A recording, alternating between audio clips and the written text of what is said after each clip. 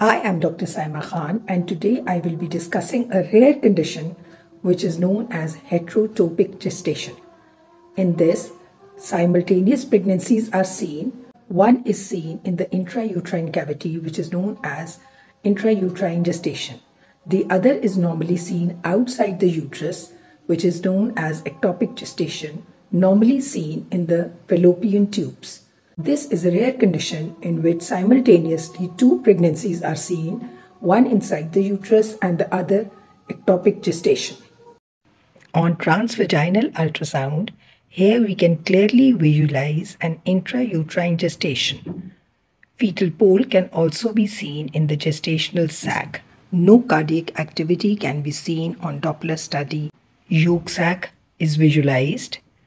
As we further proceed in our scan, we can see in the right adnexa a small cystic area which is surrounded by a hyperechoic area.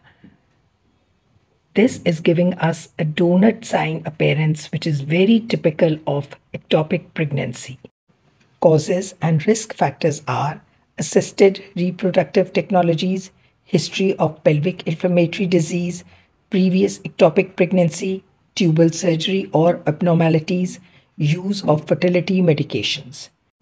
On Doppler scan, we can also see a ring of fire sign. This is circumferential vascularity, which is also known as the ring of fire sign.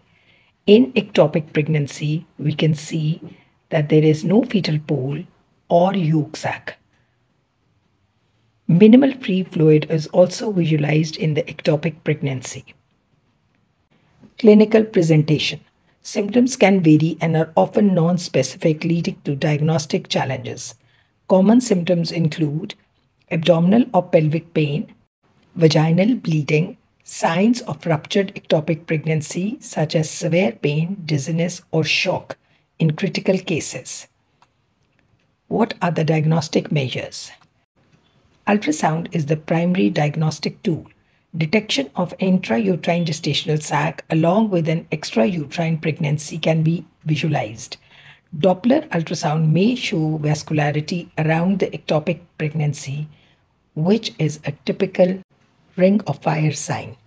Beta HCG levels may be inconclusive as both pregnancies contributed to elevated levels. What is the management in heterotopic pregnancies? To manage the ectopic pregnancy, surgical removal, which is laparoscopic removal, is done.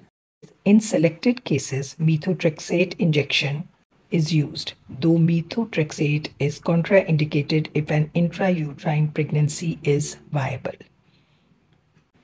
Intrauterine pregnancy management. The intrauterine pregnancy is monitored closely to ensure its progression is not affected by the treatment of ectopic pregnancy. Prognosis The prognosis depends on early diagnosis and appropriate management.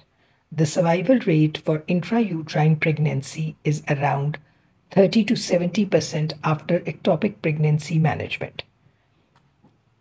What is the clinical significance? Heterotopic gestation poses a unique diagnostic and management challenge for healthcare providers requiring high clinical suspicion, especially in patients undergoing ART or with risk factors for ectopic pregnancy.